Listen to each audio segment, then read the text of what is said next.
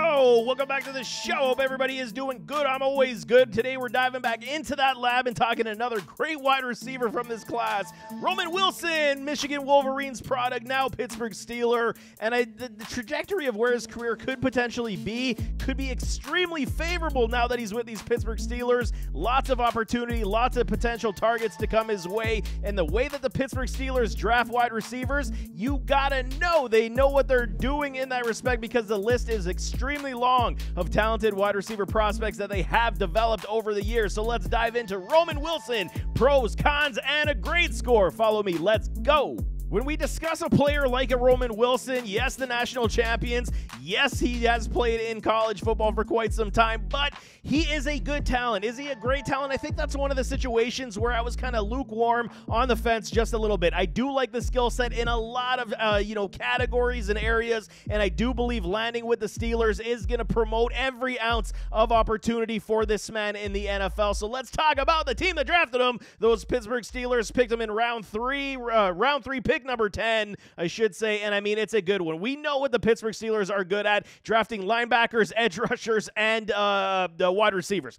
They, they just don't miss on these guys. And I, I thought that at least they were going to add more in the draft when it came to the wide receiver position. Now that they don't have a Diontae Johnson, he went to the Carolina Panthers. George Pickens is that alpha dude we all know.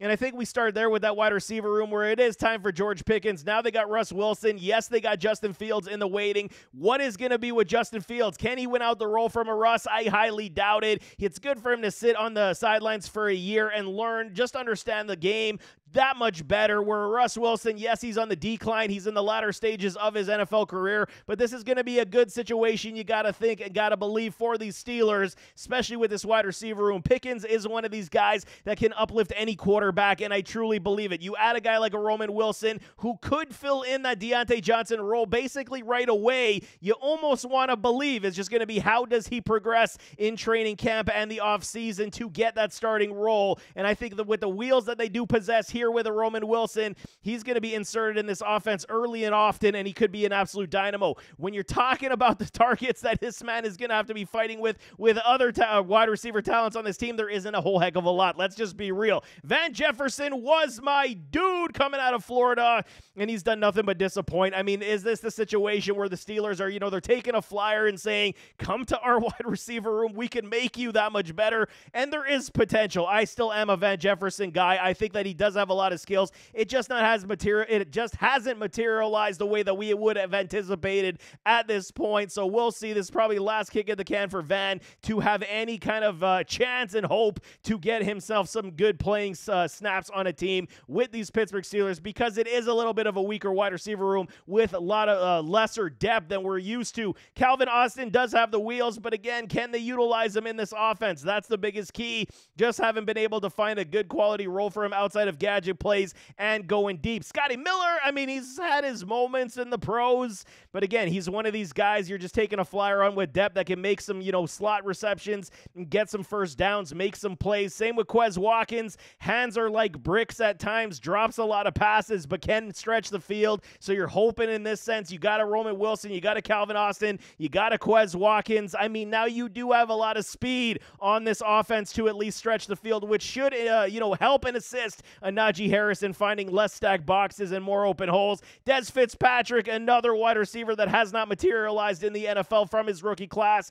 And again, I'm not really holding out a lot of hope for him as well. Callaway, Marquez uh, Callaway, he's got some ability, showcase some flash from time to time. And I mean, here's the rest of Watts, Jenkins, Copeland. Uh, Jacob Copeland is one of these guys. If he just played just a touch better, I think he would crack a roster, no question. But here is the wide receiver problems that you do have in Pittsburgh with a Russ Wilson. Wilson with a Justin Fields. How is it going to shake down? Roman Wilson doesn't have a whole heck of a lot of competition to earn a starting role early on in this offense, which makes him a great pick late in fantasy drafts as well as that flyer because he could legitimately take on the Diontae Johnson role, be heavy PPR upside, and gain a lot of yards and potential touchdowns. But for the measurables, as always, he stands 5'11, 185. He is 23 years of age, played a boatload here with these Wolverines, 46 contests, 100 107 receptions, 1707 in yards, a nice 16 on the average, and 20 touchdown receptions. His uh, stat line definitely Im, uh, inflated this past year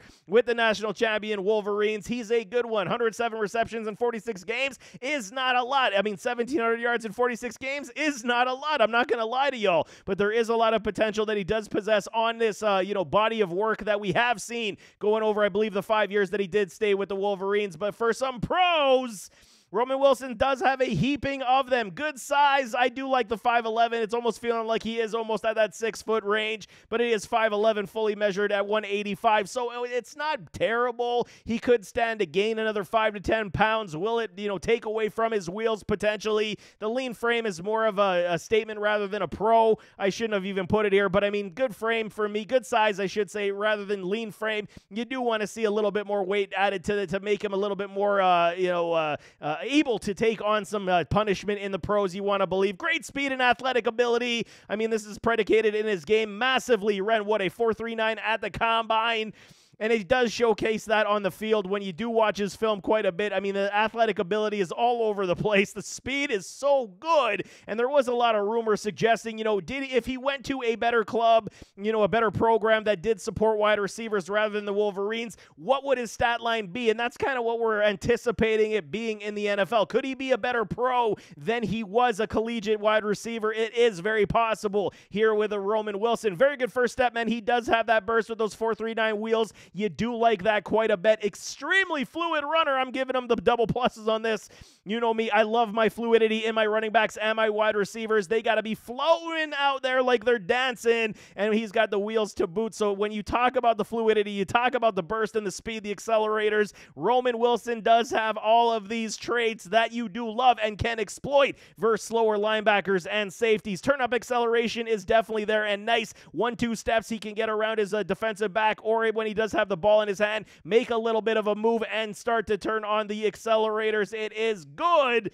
He does have good hands, man. They are soft. They are corralling. You know, there is a question mark I do have in the cons, but it's not necessarily something that's going to inhibit me from giving him the plus grades in the pros on the hands. I do like them. Are they great? I'm going to say here, sit here today and say, no, they're not great. I do believe they're very good. And I, and I think that it's going to continue to increase as he gets with these Steelers, as they coach him up. Because, like I said, the Pittsburgh Steelers do have one of the best wide receiver, you know, scouting departments and uh, progressive departments in the NFL to develop their young talents at the wide receiver spot. He does win at the line of scrimmage. Separation is definitely pluses for me. Very good double move coming from a Roman Wilson off the line. Footwork does, uh, you know, uh, uh, promote his way to get separation off the line of scrimmage where he isn't necessarily jammed up. He does have good, you know, shake in that sense where the footwork is quick enough to get around these defensive backs, uses those head fakes to pause the defensive backs as well, aids in his route manipulation with the speed, with the acceleration, with the stop start. It is all good,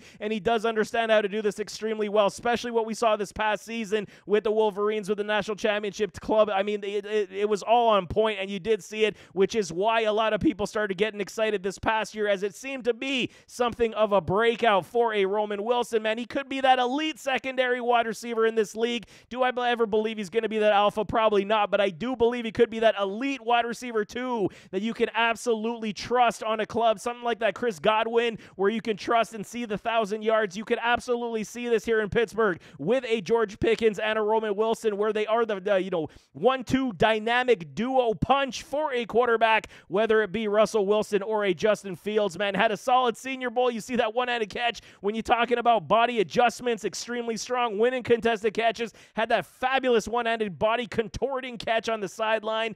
He is uh, showing in his, uh, you know, uh, scouting a highlight reel where it is, you know, the you got Moss even contested catch appeal. He does have this. Is he going to outjump a majority of defensive backs? No, but he does track the ball extremely well in that sense. When he does, uh, at least it's when it's in his vicinity, I should say it that way. And then he does have the good body adjustments for those contested catches to win. Absolutely, man. Career season this past year, 48 receptions for almost 800 yards and 12 touchdowns. So you got to understand this past season did inflate his draft stock and got him on the rise.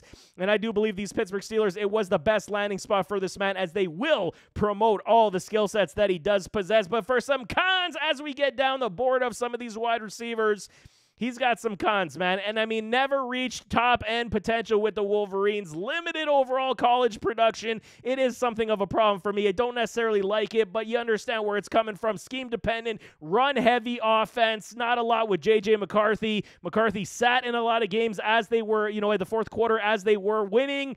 So again, you're going to dial back the passing aptitude in this team because they were, you know, closing out contests or setting it up with the run game. So uh, you got to take that with a grain of salt as well. Only 25 receptions in both 2021 and 2022.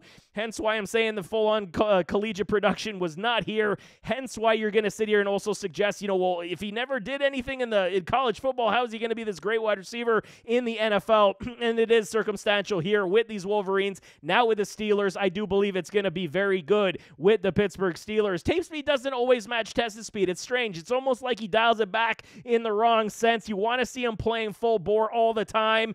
But I get it. A guy who runs 4.39, I mean, you're going to get gassed if you're running down the field all the time. But it's one of those situations, even when his route trees, you want to see him understand the stop start manipulation with the speed. Use your speed to your greatest advantage around your defensive backs. And I think with a little bit tutelage, you know, that tape speed should absolutely match every single time he's running routes. Press could be an issue, like I'm saying, with that lean frame at 185, but he's not, uh, uh, it's not like he's not strong.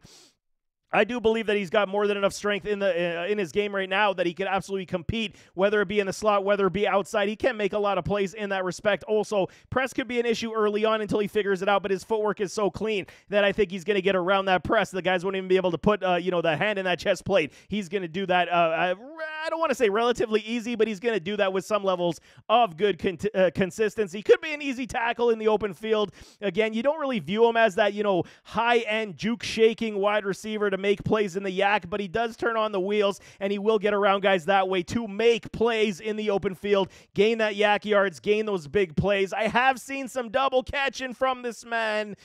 But again, it's a concern. It's not a great concern, but it's a concern. But again, you put it with a grain of salt saying he's playing with J.J. McCarthy, not a pass heavy offense. Does he kind of lull himself to sleep a little bit, not seeing the heavy target volume? So maybe that does play into account if he does see more targets to come his way. Will we see that double catching? I'm, I'm pretty sure, comfortable in saying his hands are sure enough, and he should be very good in the pros, man. Could use some refinement in that stop start uh, manipulation. Like I said, speed manipulation. Just understand, man, how to use utilize it, use it to your advantage. It is the greatest aspect of your game at this point where you could be that manipulator with that speed. Use that to your ability, and it will be all glory in the NFL. And then he could lose track of the ball when he's going over the uh, over the shoulder. Recovery awareness improvements when he is going too fast. Dial the speed back. Does kind of lose track of the ball at times. Have seen that as well. Just a little tiny refinements in his game. If he does work on it, works uh, with the coaching staff here with the Pittsburgh Steelers, I think it'll absolutely be uh, aces for him, no question. But for grading purposes,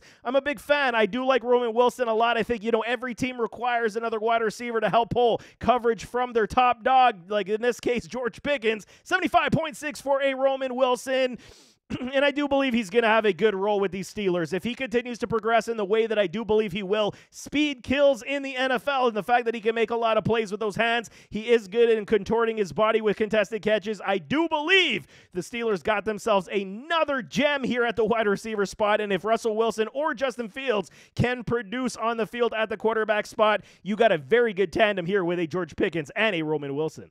So there you have it. That is Michigan Wolverine now's Pittsburgh Steeler Roman Wilson. Very good, very talented wide receiver. Is he in that upper echelons of the elite talents that we're suggesting? Maybe not, but I do believe he will be a better pro than he was statistically as a collegiate athlete, and I do like it quite a bit here with these Pittsburgh Steelers. You guys, I trust him whenever they draft a wide receiver. I'm trusting because they just know exactly what they're doing in Steeltown with the Steelers, man. But nevertheless, as always, don't forget to hit that like button, hit that subscribe button, jump in those comments. Give me your thoughts. What do y'all think of Roman Wilson? You like him? You dislike him? Steelers fans, you excited about this uh, wide receiver room? Talk about Russ Wilson and Justin Fields. Who you want your quarterback? Throw it in the comments. We could definitely talk it out, but we'll see you next time. I am out.